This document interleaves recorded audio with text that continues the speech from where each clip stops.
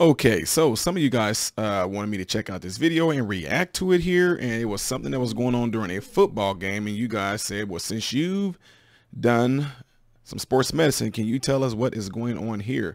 So let's get ready to watch it and see what uh, this video was about.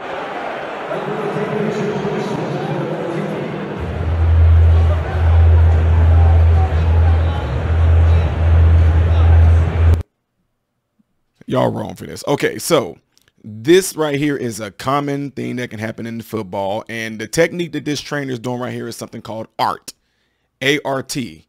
You know, it's a type of manual therapy and it stands for active release technique or active release tension. You're releasing some tension there.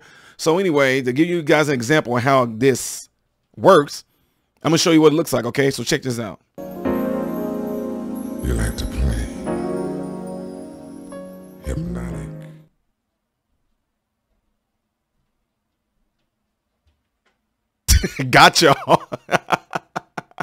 Good night.